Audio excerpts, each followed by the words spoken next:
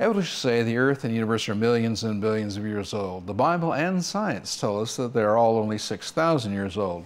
You see, if the Earth really were billions of years old, as evolutionists claim, then how do you explain the following? Manganese nodules grow too rapidly on the ocean floor. These are even being mined today, but they grow too fast for evolution to be true.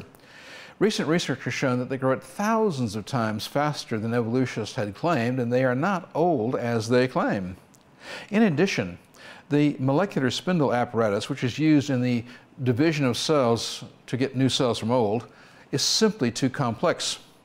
An evolutionary website talks about this process of mitosis, and I quote from the publication At the cellular level, the mitotic spindle apparatus is arguably the most complicated piece of machinery in existence. It simply could not come about by random chance. It had to have been created, as the Bible says, only 6,000 years ago.